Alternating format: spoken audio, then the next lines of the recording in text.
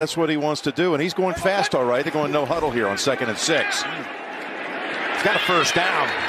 That's what you want out of your head coach. Here's a second and five. Play action. And now Mayfield rolling out. Hits Higbee, the tight end, for the first down.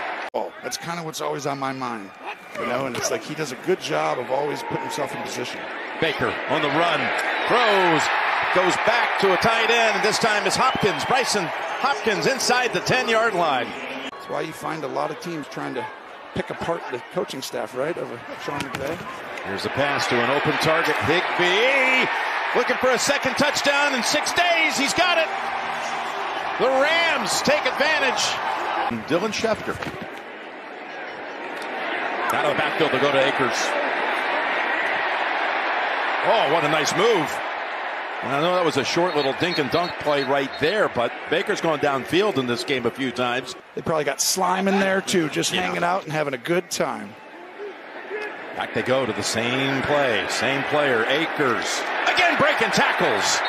And he's out of bounds at about the 37. And you got to throw it all the way across the field or downfield a bunch. Here's downfield. And that's Higbee running over defenders. Red zone, number one red zone defense in the league. Unbelievable on third down as well. Down the middle.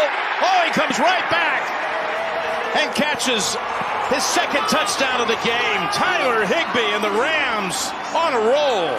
He did tell me he will be back next season. Okay, here's the third and five. Thanks, Trace.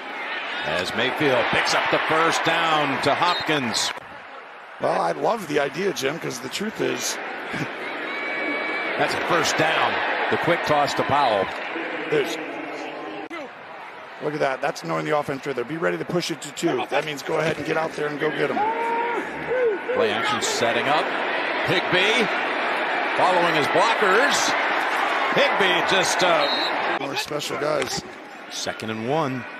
On the bootleg, he connects again. Higbee down to the one, almost got his third touchdown. Each other as far as the running game to play action to screen game to drop back. There's Jefferson with the catch and a first down. Be a jet sweep no. And then you go ahead and just throw a little stick flat right. Somebody's got to get on Higbee at some point today. He's got his ninth catch officially this time.